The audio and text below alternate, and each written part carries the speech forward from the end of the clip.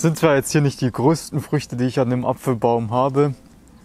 Der steht jetzt hier in einem Kübel, aber ich bin dennoch froh, dass der überhaupt ja, Früchte bringt. Ich bin froh über den Baum, denn es ist umso wichtiger, dass wir immer mehr solche wunderbaren Freunde pflanzen, denn sie schenken uns mit wunderbaren Luft, strahlen Freude aus und natürlich geben uns diese einzigartig, einzigartigen, wunderbaren Früchte.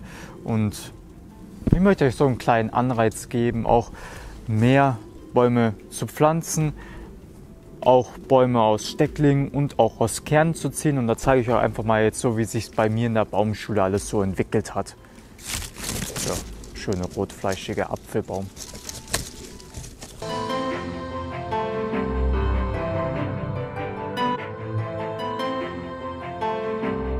Hallo und herzlich willkommen hier auf diesem Kanal. Es freut mich wirklich sehr, dass ihr heute eingeschaltet habt.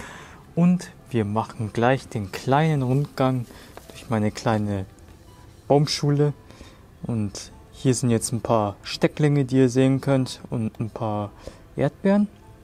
Also das hier ist hier vorne eine, eine Goji-Beere, beziehungsweise ein Steckling von der Goji-Pflanze, die ich habe an der Nordseite vom Haus. Dann hier auch weitere Stecklinge von Johannisbeeren.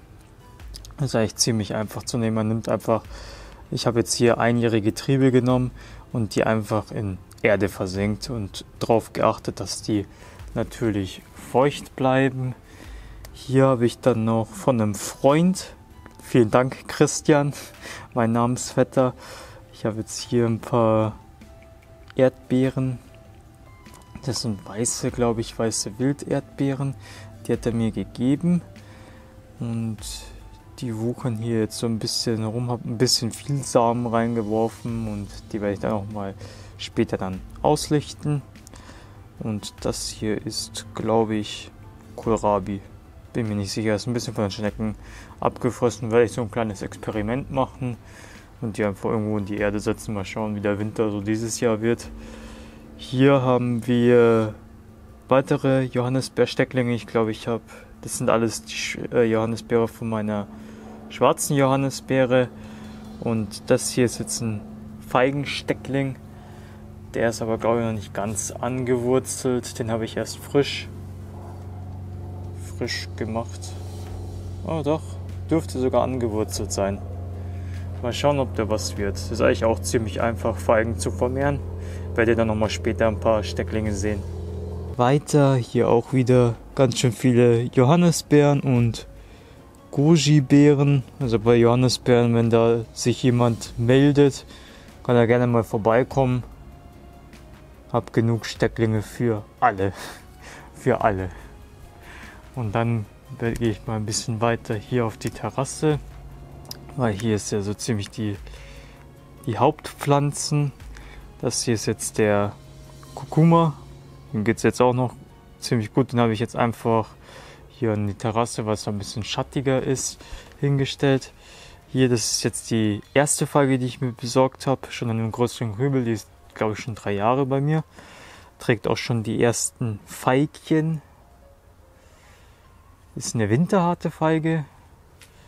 Hier, das ist die Pfirsich. Die habe ich mir auch mal vor drei Jahren gekauft. Das ist halt sehr lustig, dass die, äh, keine Ahnung, ich glaube veredelt oder so ist, weil ich glaube, das ist eine Pfirsich und eine Zwetschge. Also die hat eine andere Unterlage und das ist halt, was ich halt immer so sehe oder finde, wenn man jetzt alle auf Veredelung oder Tropfen Wert legen ich bin halt immer noch der Fan auf ähm, wurzelechte Bäume und dann kann sowas auch nicht passieren, dass dann wirklich ein anderer Austrieb da zum Vorschein kommt. Ich lasse den Baum jetzt einfach so wachsen.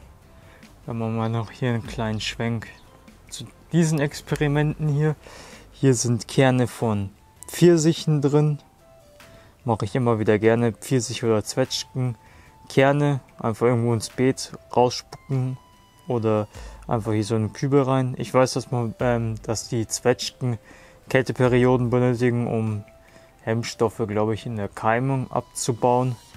Hier sind weitere versuche. Da habe ich jetzt zum Beispiel Sapoten, also die Blanco, äh, nicht die Blanco Sapote, sondern die Sapote Negro, also Sapote Schwarz reingetan. Das ist eine Sapote, die Schokoladenpuddingartige Früchte will, äh, formt, beziehungsweise die Früchte schmecken nach Schokoladenpudding, wie ich gehört habe. Habe ich so ein paar Samen mit rein, dann auch nochmal von den Bananen, also von der roten, von der rosanen, von der blauen, von der silbernen und von der großen Essbananen habe ich da die Samen rein getan.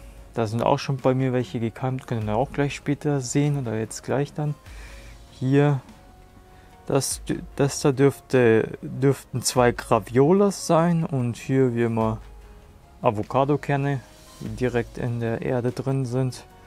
Und hier vorne, weil neuerdings der Russenmarkt bei mir usbekische Trauben hat und die haben Kerne, also richtig große Kerne, dachte ich mir, ich tue die hier rein und das ist so ein kleines Experiment für mich, denn links von dem Stöckchen, das sind einfach nur Samen, die ich in die Erde getan habe.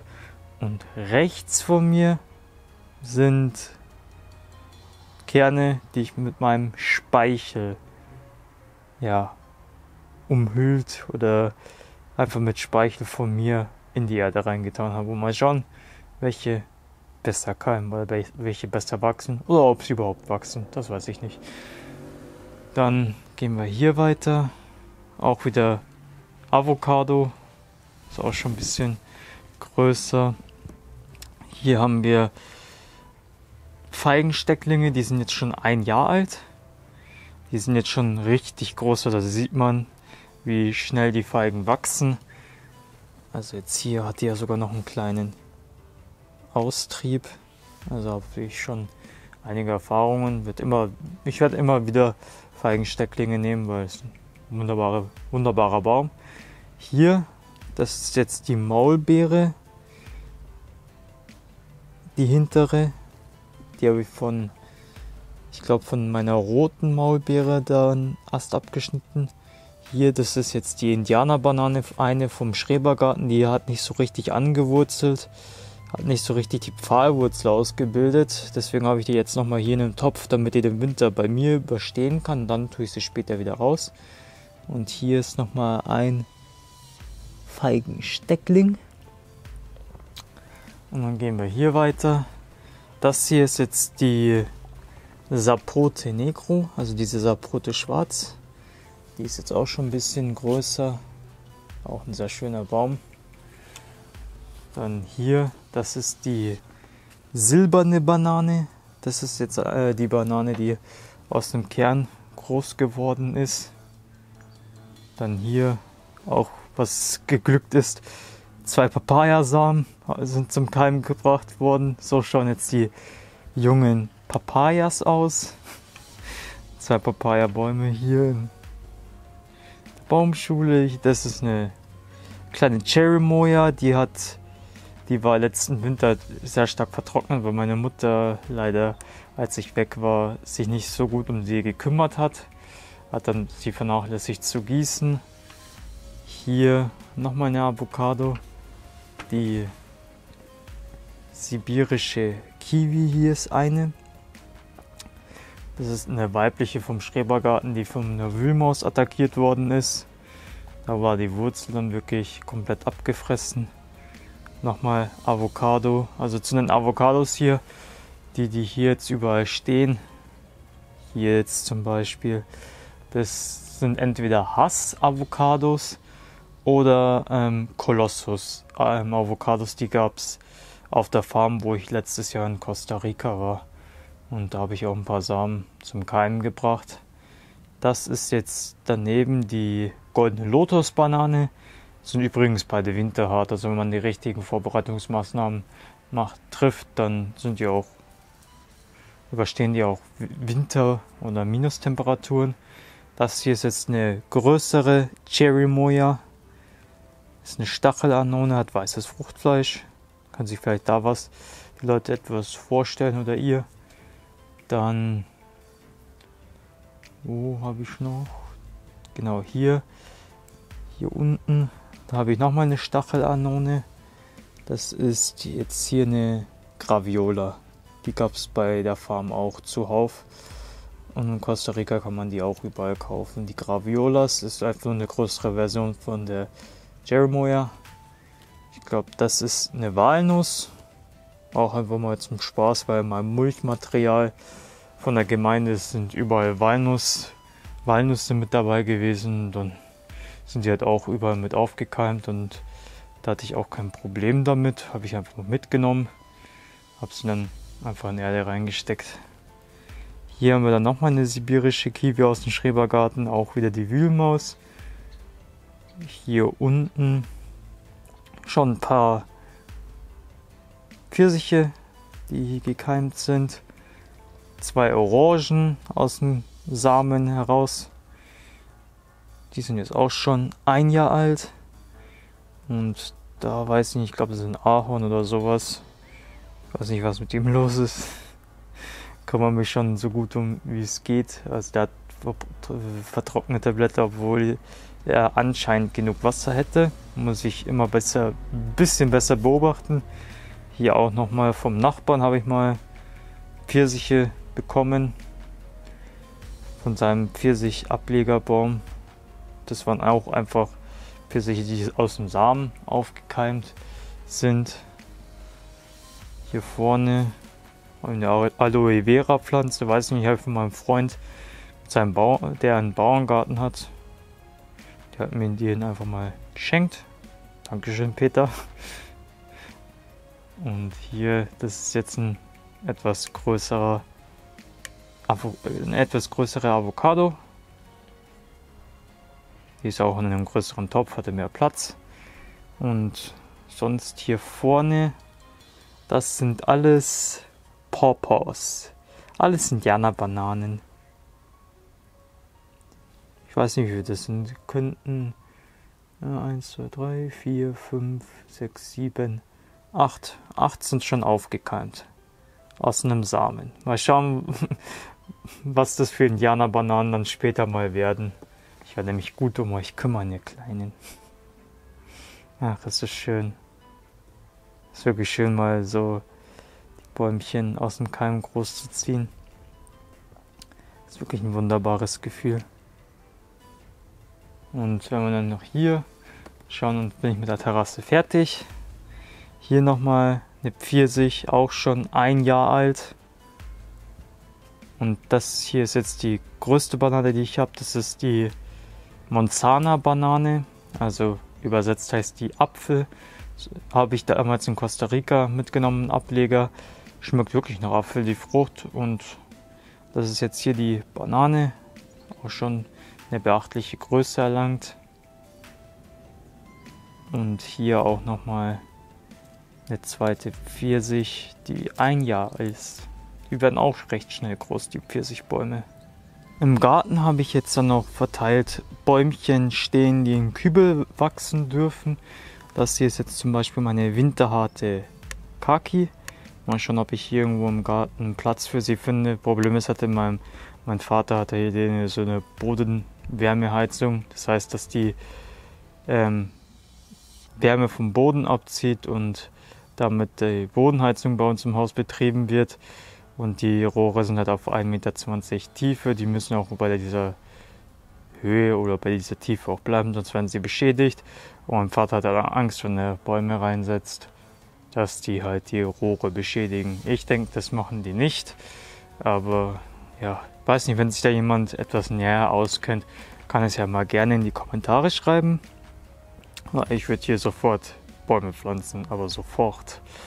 Und das ist hier jetzt eine Aprikose und da hinten auf der anderen Seite vom Garten, wo ich halt den Einspieler gedreht habe, hier, hier hinten das ist die rotfleischige Apfelbaumsorte Bayer Marissa. Und das ist jetzt ein dreijähriger, oder ich glaube, vor drei Jahren habe ich den gekauft, den Orangen, Orangenbaum hier. Der hat sogar mal Minustemperaturen im Gewächshaus überstanden. Ja, also das sind jetzt so hier ziemlich die ganzen Bäumchen und die Baumschule, die ich hier habe. Und da hinten auf der anderen Seite, ich weiß nicht, man kann so diesen Zipfel sehen. Das ist meine italienische Zwetschge. Zwetschge, ja genau. Und sonst bedanke ich mich eigentlich vielmals, dass ihr wieder eingeschaltet habt. Gerne könnt ihr mit dem Video einen Daumen nach oben geben und einen Kommentar hinterlassen. Könnt auch Freunden, Bekannten, Familie von mir erzählen. Gerne freue ich mich auch, wenn ihr ja, das Projekt und mich auf Sozi ja, sozialen Medienkanälen und ja, einfach das Projekt verbreitet. Das ganze ja, Marketingzeug gehört natürlich auch irgendwie dazu, ohne Aufmerksamkeit, keine Unterstützung auch ein bisschen. Natürlich findet ihr auch Unterstützungsmöglichkeiten unter der Videobeschreibung oder auf meiner Webseite. Freut mich natürlich auch immer wieder sehr. Und sonst könnt ihr hier noch ein bisschen Gründüngung sehen. Das ist Buchweizen. Hier zwei Zwergfelsen, Birnen, die auch hier schön wachsen.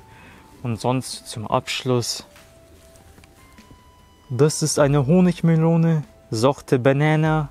Mehr dazu in der Wassermelonen Challenge, die, wozu ich das Video auch schon fast zu Ende gedreht hat. Und die ist erntereif, die riecht schon süß. Und die werde ich jetzt essen.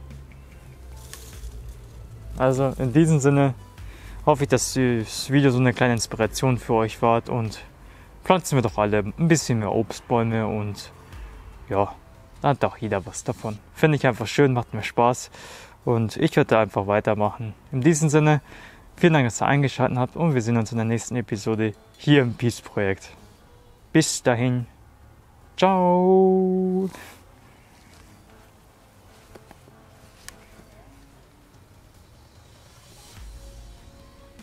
Schwarze Johannisbeere. Oder rote. Und das ist eine Himbeere. Wachsen hier auch überall.